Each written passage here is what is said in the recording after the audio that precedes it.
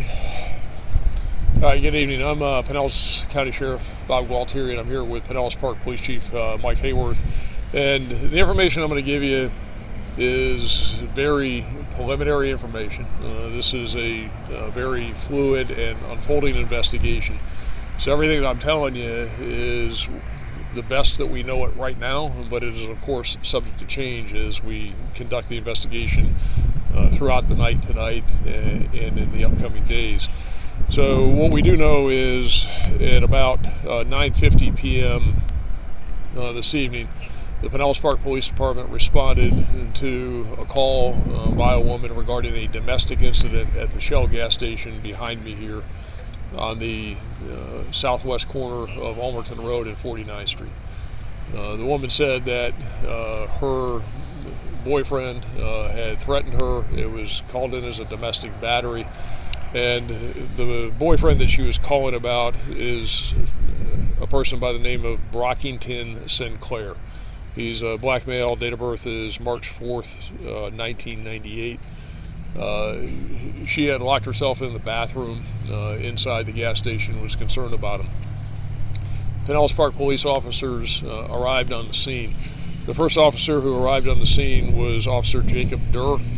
Uh, he had information, uh, again, regarding the domestic, uh, that Sinclair was anti law enforcement. He was somebody who possibly had a warrant out for his arrest, and that's what he knew going into this.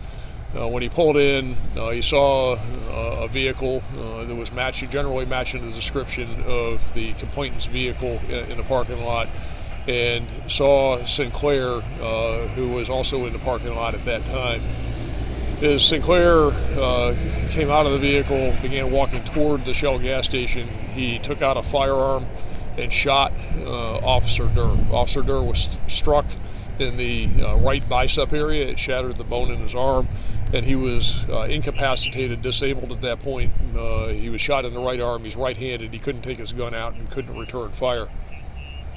About that same time, a second officer uh, arrived on the scene, and her name is KC, initials KC Gavin. Officer Gavin arrived, and she confronted Sinclair. Uh, Sinclair uh, fired at her. She returned fire, uh, did not strike Sinclair, um, and he at that point uh, saw another car that was in the parking lot uh, for a customer that was pumping gas and at gunpoint he forced that person to turn over their keys and he carjacked that car. Um, he then got in the car and drove it at Officer Gavin. Uh, missed her, uh, went out to Ulmerton Road, went westbound on uh, Ulmerton Road in the eastbound lanes.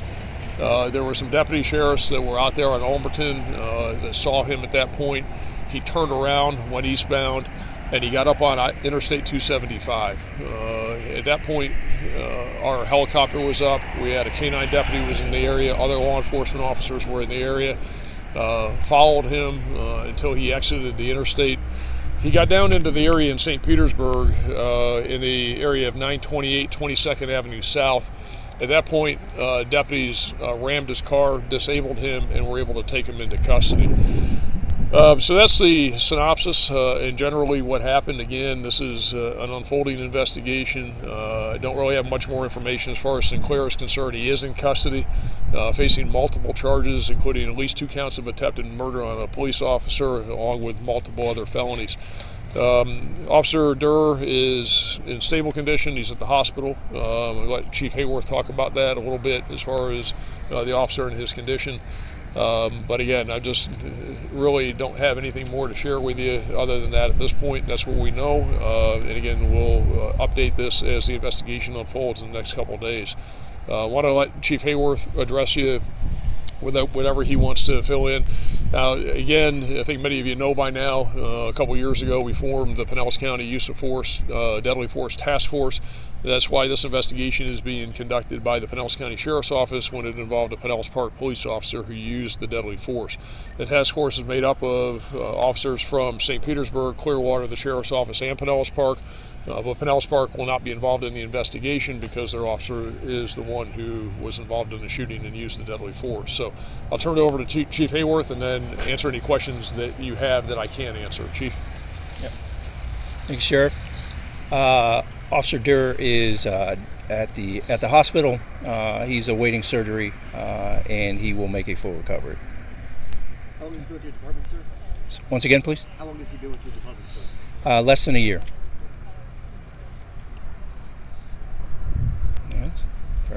Uh, any questions? Any, any the suspect's name, sir? Yeah, his name is Brockington, B R O C K I N G T O N, Brockington, and his last name is Sinclair, S I N C L A I R. Again, he's a black male. Date of birth is March 4th, 1998. What's that? Anybody have anything else?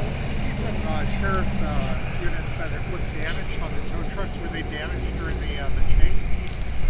As far as what I know? Oh, were they damaged? I see some uh, sheriff's units damaged on these tow trucks. Yeah, so there was a uh, two deputy two deputies uh, did um, collide with each other, uh, and that accident happened at Fifth Avenue North and 49th Street as they were responding to the scene in St. Pete. So two deputies who were responding did get into an accident at that intersection. It wasn't here, and it wasn't at the scene where Sinclair was apprehended, but while they were en route, they collided. Any injuries? Minor injuries. And the address uh, uh, where uh, he was taken into custody, 928 22nd Avenue South. Is Correct. That correct? Correct. Can you spell the officer's name for us? The officer's the officer's name is Jacob Derr, D E R R. Okay. All right, we'll update you as we get more information. Okay. Thanks, guys. Thanks.